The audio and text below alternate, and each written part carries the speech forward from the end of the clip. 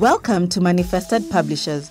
Welcome, learners. My name is Stephen Kariungi. Today we continue with our biology lesson, Form 1, and today we are going to discuss cell organization.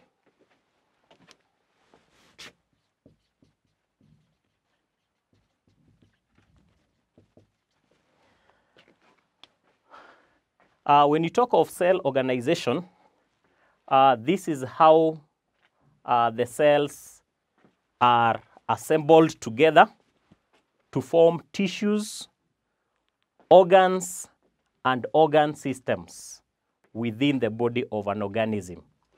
So, this is how cells are assembled together to form tissues, organs, and organ systems. in living organisms. So the first uh, level of organization are the tissues. We have tissues and a tissue is a group of cells.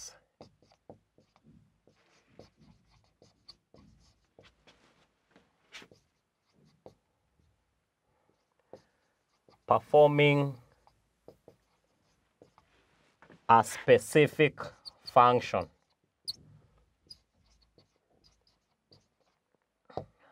A group of cells performing a specific function uh, make a tissue. So we'll have A, animal tissues,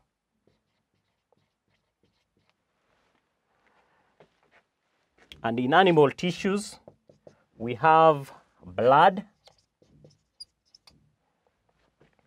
which consists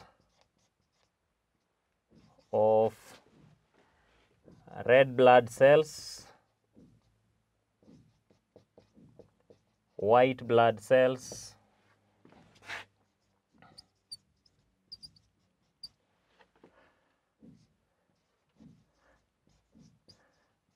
and platelets. All those are blood cells, or they are cells that make the tissue that we call blood.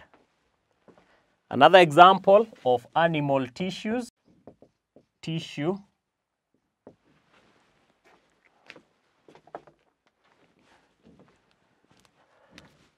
and this one is the one that connects various organs in the body. Uh, we have epithelial tissue. These are animal tissues. And this one is found at the inner lining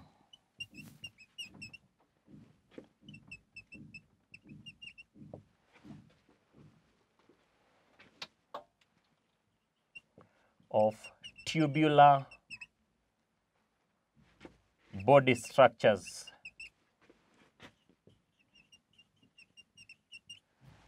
Inner lining of tubular body structures, e.g., along the digestive system.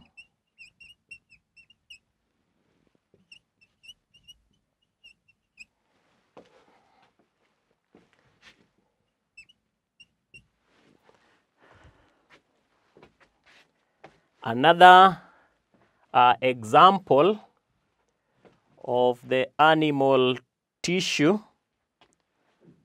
we can also talk of the muscles or the muscle tissue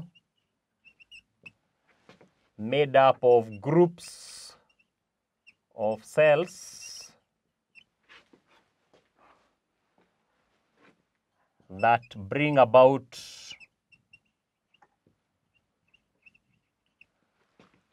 movement. So basically, uh, those four are examples of animal tissues. We have blood, connective tissue, epithelial tissue, and muscle tissue. So let's uh, go through various examples of plant tissues, tissues that are found in plants. So plant tissues include one,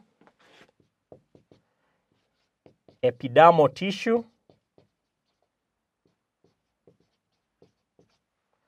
and this is the tissue found at the outer the outer surface of stem root leaf etc so this tissue is mainly for protection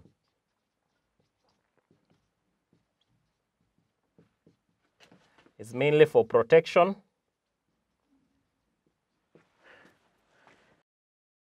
Against mechanical damage.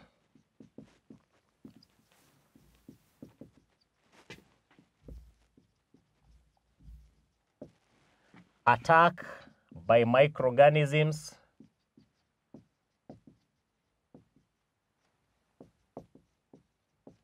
etc. So basically epidermal tissue is for protection. Then another plant tissue, we have the palisade tissue, and this is made of palisade cells that we learned earlier.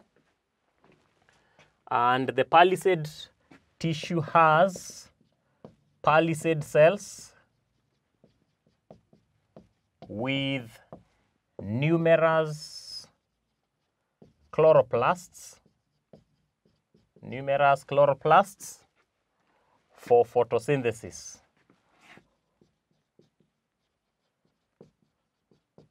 So this tissue is found in the leaves and it's the main area where photosynthesis occurs.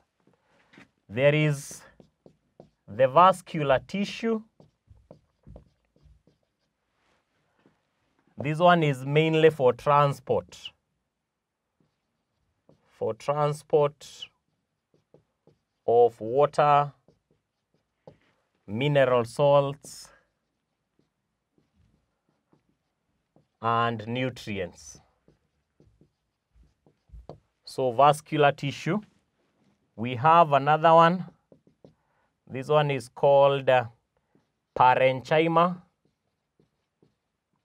tissue. This one is for storage, storage of food and water.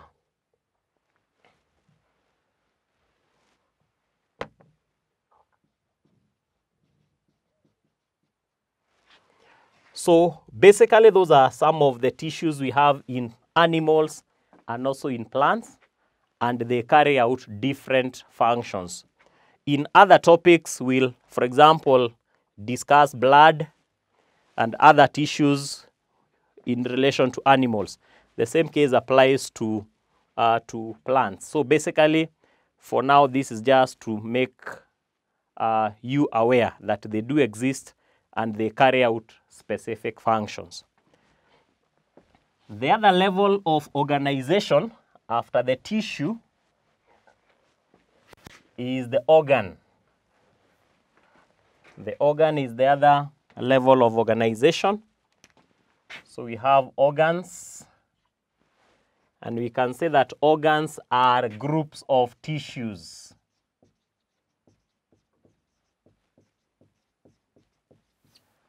That perform related functions. We have very many organs in our bodies, and all those organs are made of groups of tissues. Uh, For example, we have organs such as the heart. The heart is an organ, the kidney, so those ones are made of various tissues. Then in plants also, We have organs such as the leaves made of the plant tissues. We have things like the stem made of various tissues and so on and so forth. So the last level of organization is called the organ system. And these are groups of organs.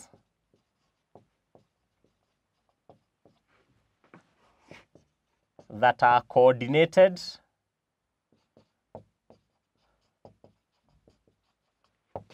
and synchronized together. Groups of organs that are coordinated and synchronized together to perform certain functions. To perform certain functions. Examples of an organ system is e.g. the digestive system.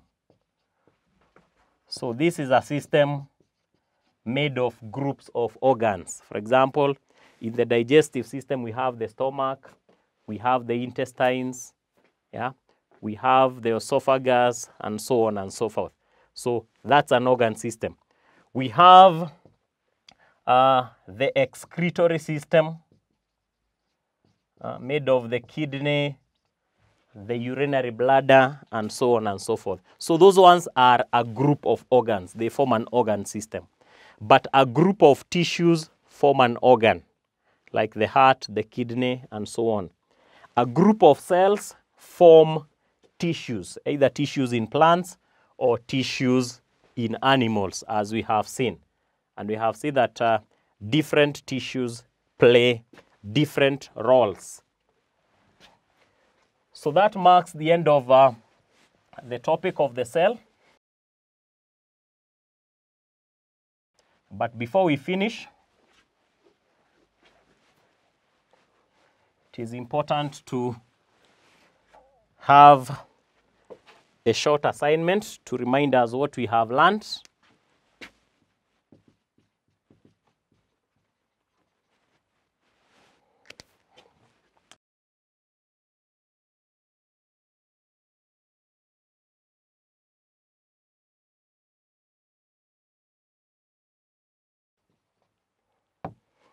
So the first question in the assignment, what is a tissue? We have discussed that. Number B, name three tissues in plants and their functions.